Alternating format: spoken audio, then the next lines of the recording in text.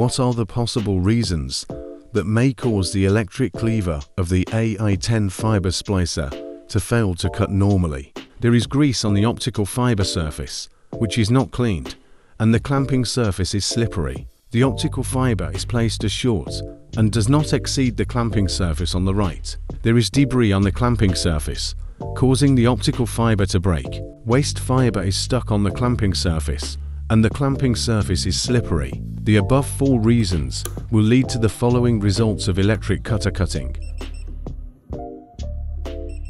To solve the problem, what we need to do with the electrical cleaver.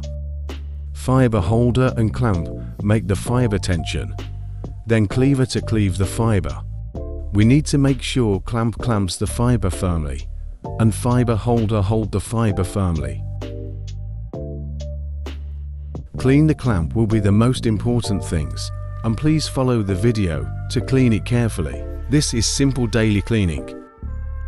Both sides of the clamp need to be cleaned.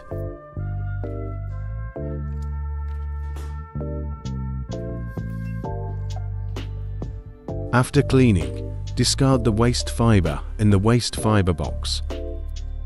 Install the waste fiber box and make sure it is plugged in. If the brush cannot clean it, please use alcohol cotton to clean it. Both sides of the clamp need to be cleaned.